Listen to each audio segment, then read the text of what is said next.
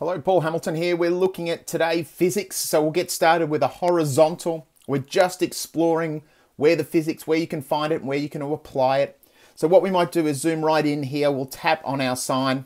We'll tap on it one more time and we'll delete it. And we might just use the cube that's in there at the moment.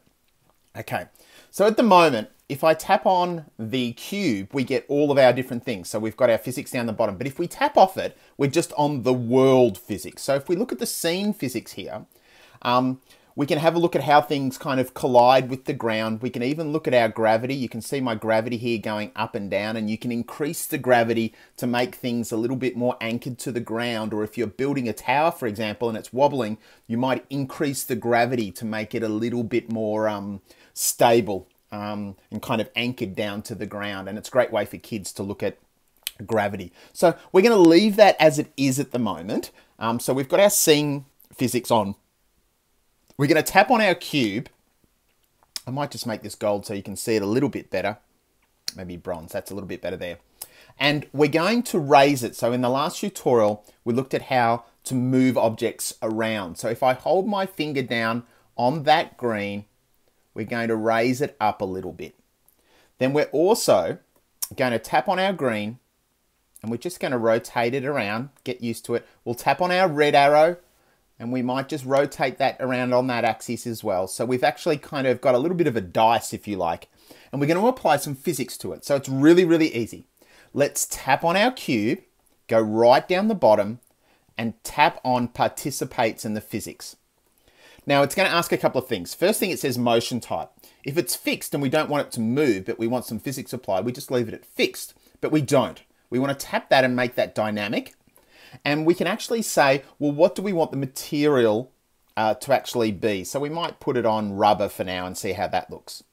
We're going to leave the collision shape as box down the bottom. So we normally leave that as default. And now we've actually, what we've done is we've actually said to the cube, uh, you've got some physics applied. So you've got gravity in the scene um, and it should react like a cube that is rubber um, that kind of reacts with the ground. So let's have a look. I'm going to zoom out a little bit so you can kind of see. When I press play at the top next to the AR, when I press play, it will actually apply and play the scene with the physics. So let's play it. And you can see there that it's kind of bouncing around a little bit. If I was to lift it up a little bit more and I was to press play, you can see there that it doesn't kind of bounce too much.